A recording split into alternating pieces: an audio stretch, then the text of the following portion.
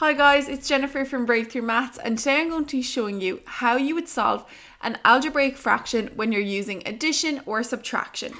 So here you can see for this question we actually have subtraction, but it would make no difference at all. The process would be exactly the same if this were to be addition. So the rule that we use is up, up, bottom boys. Now I'll explain what that means.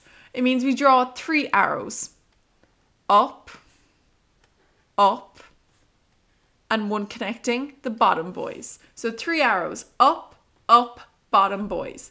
And what you do then is you start with the first number in the first fraction, which is 5. And then you follow the arrow along and you can see it's connected to 4. So we multiplied by 4.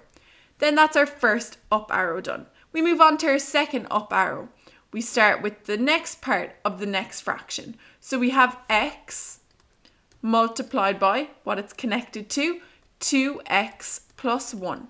That's our second up arrow done. Then we move on to the bottom boys. So we draw a line to put them on the bottom. So we have 2x plus 1 is joined up to 4, as we can see with our arrow in blue. So 2x plus 1 was connected to 4, so we multiply them. And that's our bottom boys done. And the final thing we're missing is just to add in the sign that we're given in our question, which was the subtraction sign. Now we just multiply everything out. So 5 times 4 is 20 minus x by 2x is 2x squared and minus x by plus 1 is minus x. All over 4 by 2x gives us 8x and 4 by 1 is plus 4. And all we can do here is just reorder our answer to make it look a bit neater.